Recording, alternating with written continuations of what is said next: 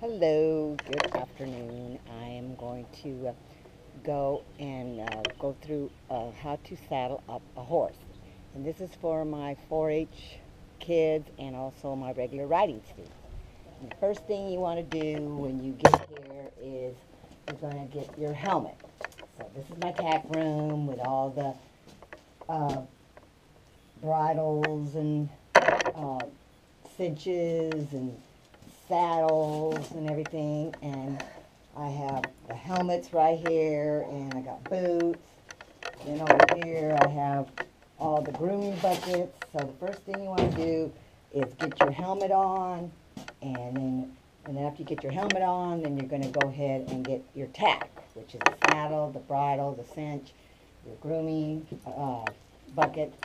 So you get those. Um, I already have those out there by the horse, but the first thing you want to do is get your saddle, get your, uh, get your, like I said, get your helmet on, get your saddle, get the horses that you're gonna, the horse that you're gonna ride, his bridle and his cinch, and then we're gonna go ahead and take it out here to where the horse is at.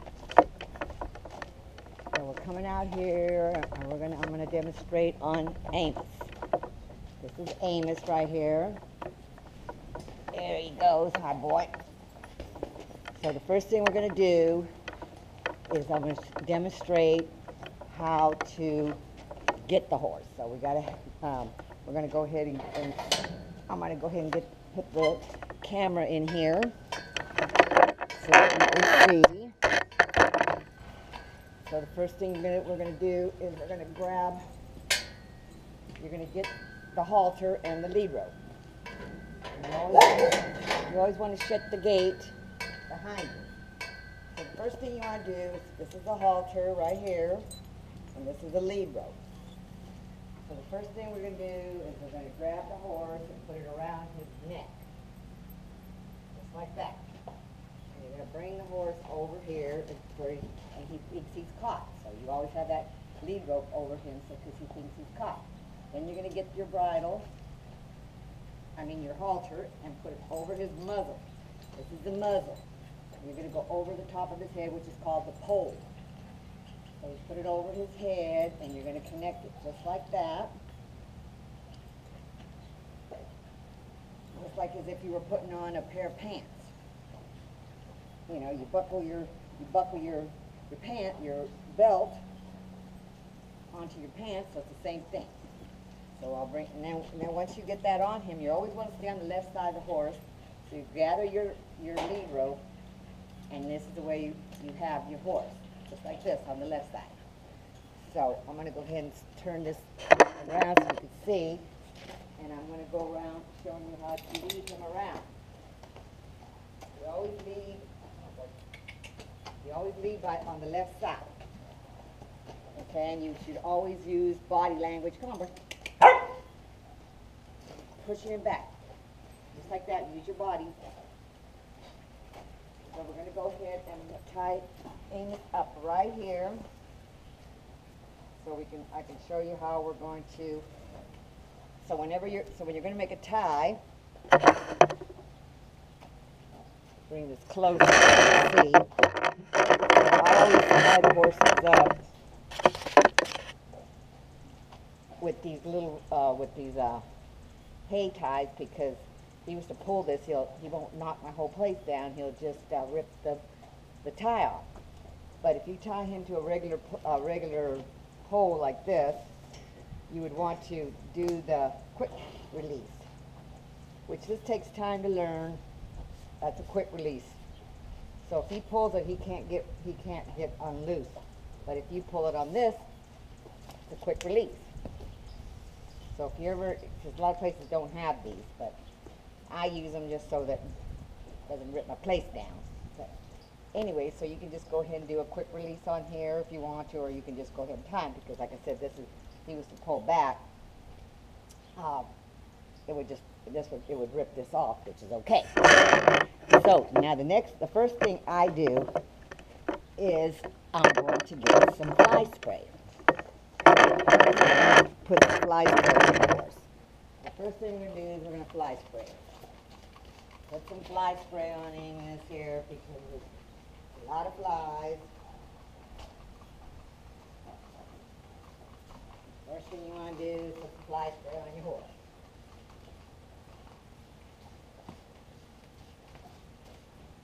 And some horses don't like to be don't like to be uh, sprayed in the face. So what I usually do sometimes is I put it on my hand, just like that, and then you can just put it on their face, around their eyes, just like that. And then, uh, good to wear jeans so that way you can clean your hands off of them. Okay, the next thing I do is I get a rag and put ink, make see if the horses, see if his eyes are dirty, so I just kind of clean his eyes off a little bit. So now I'm gonna get my, um, the grooming bucket, which has curry for mud, a dandy brush for dust, my hoof pick. I also have a plastic uh, curry and another brush, and I have a tail brush and a mane brush. So anyway, you get your uh, curry and you, to, and we're gonna go ahead and check to see if he has any mud. So we look around, and we, whenever you go around a horse, safety is number one around here. So whenever you're going around a horse, you should always keep your hand on the horse to go around. And you should always stay close to him, just like this. You should always stay close to the horse. You should always stay close to your horse, because if you're gonna go around him, you should either be really close to him or like really far away from him. Safety. Because he needs to know where you're at at all times. So you should always be touching your horse no matter what. Good boy. And you should try to bond with your horse too. Talk to him. Good boy. You're just a good boy, aren't you? So anyway, we looked around, there was no mud on him. So if there was any mud, we would have, we would have taken it off. So the next thing I do is I use the dandy brush. And I'll do one side first. I'll do his front of his face, around his, his ears, down his neck, down his chest, down his leg, on his back, underneath here, where underneath his belly right here, and where the cinch is gonna go, and then, of course on top of here with the saddle's going. And just keep going all the way down.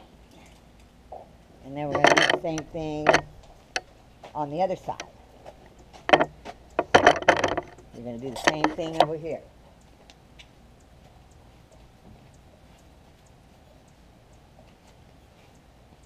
Oh boy.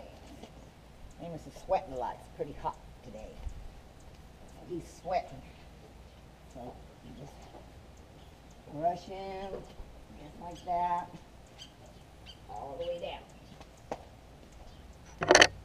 So now we're going to go over here and we're going to use the brush to brush his tail and his mane.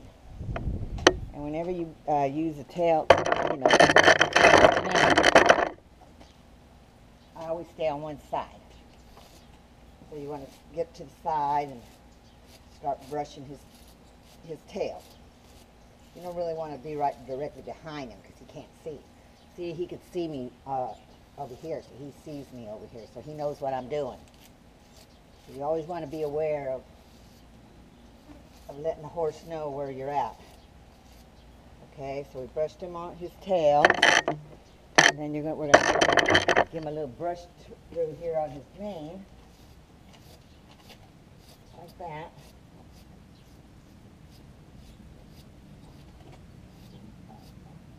The front of his, right here is forelock, right in front of his, his face, right above his. This, the back over here is called the dock. That's the back of him. So now we're gonna do picking his hooves. So we get the hoof pick, and you're gonna stand right next to, come on, boy. You talk to the horse, and you're just gonna, you're gonna pick his hoof. You're gonna go to the side right here. This closer here so you can see.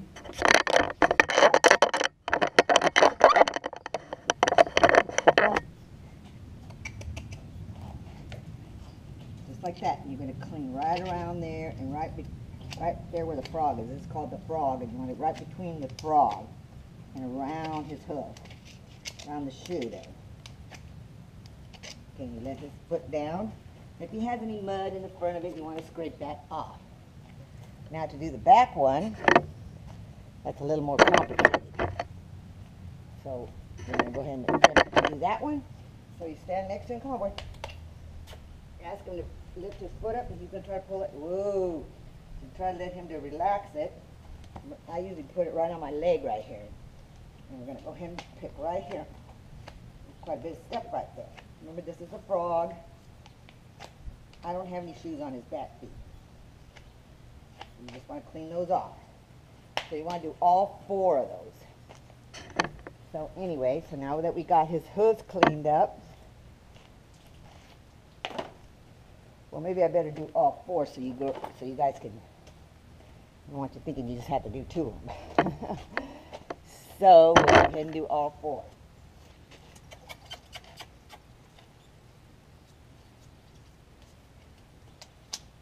like that. You can use this brush too to brush off stuff.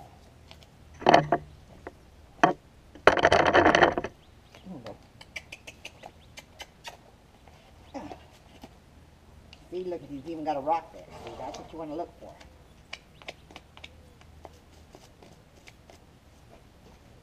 You want to look for rocks or stones that are inside the horse's uh, hoof.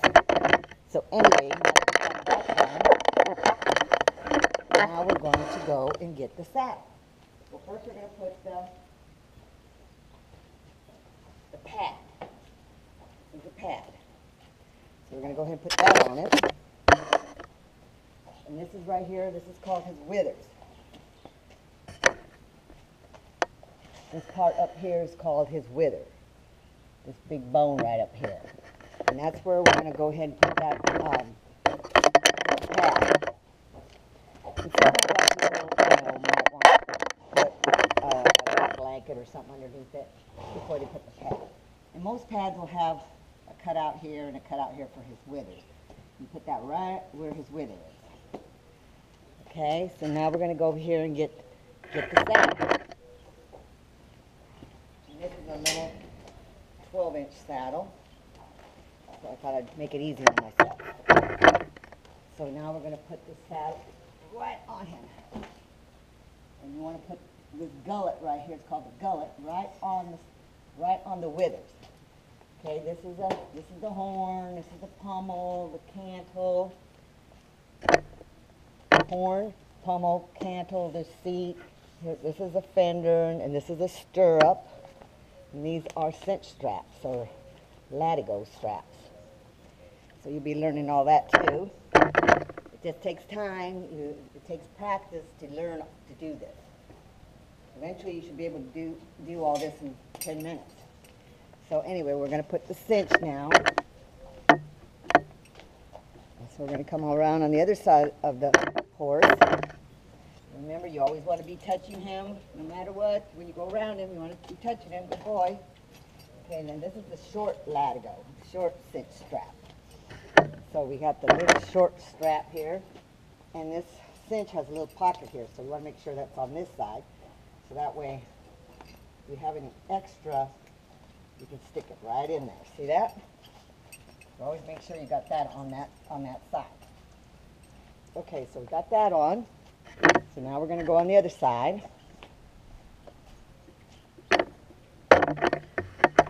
And we're going to stitch him up. So it's a little bit, a little bit too short. So whenever it's a little bit too short, you're, that means that we're gonna have to let it go on the other side a little bit. We have to come down a little bit. So on this side, we're gonna have to come down another hole. So we come down one, another hole, like that.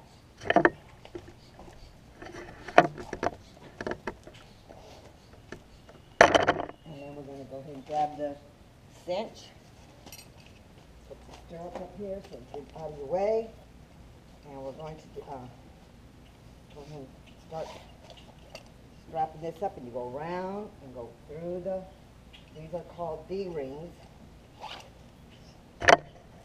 These little silver things here are called D-rings. And there's some D-rings even underneath here. So, um, you want to do it like just twice so you can have like three. And then you're going to strap it up, pull it down. You don't want to make it too tight because he's breathing, he's puffing out, so we'll, we'll get it, we'll make it tighter once we get out to the arena. And I'm going to show you how to do a T-tie. Texas T they call it. And this is kind of a difficult tie, but eventually it, it just takes time to learn. So you, you, s- you stick one strap this way and you come around this way and then you're gonna bring it through the strap, the D-ring. It's like put, doing a tie, a men's tie, just like that. And then so it looks, just like that. Bring that back. Okay, so now we're going to go ahead and put his bridle on. And I have here um, a breast collar, which I don't always have to put breast collars on, but I will demonstrate. So a breast collar goes right over his chest, just like that. And you can strap it on up here to the D-ring.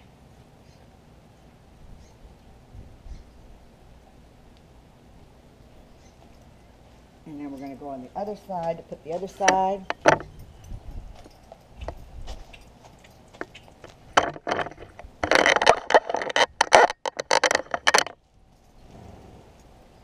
Just like that. Make sure even right here on his chest. And we're going to go ahead and put that on the, this D-ring on this side.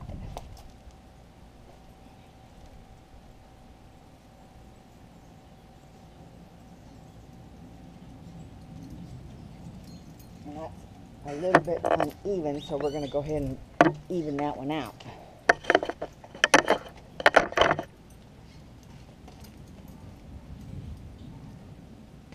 Okay, it's all evened out. So you can see it right there. And then this part goes down here at the bottom. As you can see, right here. See, it right here. Right into these little D-rings. Okay, so now we're going to go ahead and put the, we're gonna go ahead and put the bridle.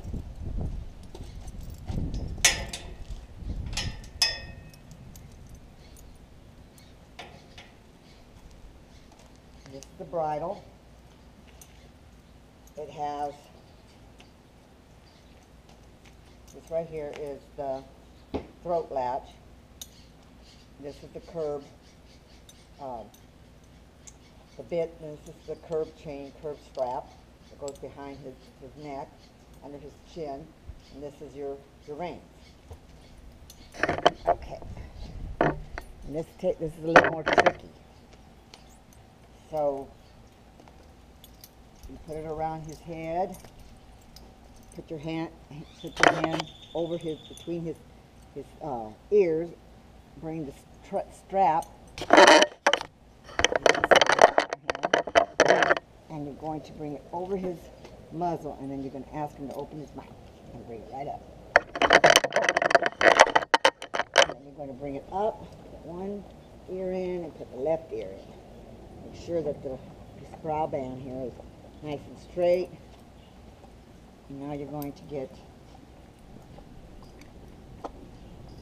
throat latch. You don't have to make it real tight. And there you go. He's ready to go. And that took me about 20 minutes. But you, normally to tack up, it should take you 10 to 15 minutes. So he's all ready to go. And I, sometimes I put tie downs on the horses. A lot of horses don't need it, but some horses do. Uh, so I didn't demonstrate that, but you would just put the tie down on him. But anyway, this is the way you tack a horse up. So if there's any questions, you can um, let me know. But so now when you guys get here, you'll all be able to tack a horse up in 10 minutes, right? Thanks, bye.